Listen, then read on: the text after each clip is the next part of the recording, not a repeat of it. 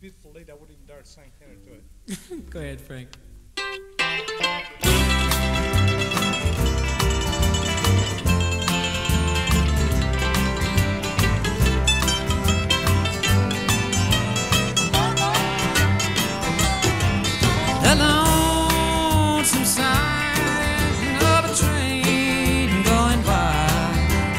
me